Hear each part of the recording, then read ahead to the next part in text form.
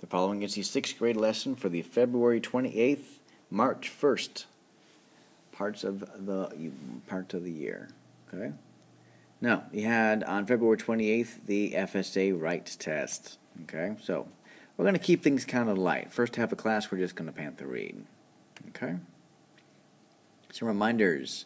Your AR test is due tonight at midnight. Now, because of the test, I will allow you to turn it in until Friday for full credit, but I won't do any late assignments, okay?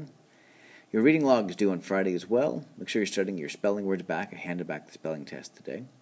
And there will be a planner app check as well as a PRT book check on Friday. Make sure you have your stuff, okay?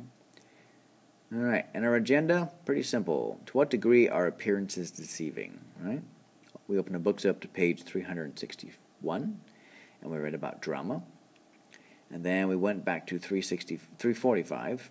Okay, didn't quite have time for story time today. Basically, we just kind of discussed what drama was, and we're going to start doing um, our next story, which is Prince and the Pauper. We're giving a preview of it today. We're not going to do it straight away. We'll probably get to it next week sometime, but that's what's going to be coming up. Okay. Other than that, that completes the lesson of the day.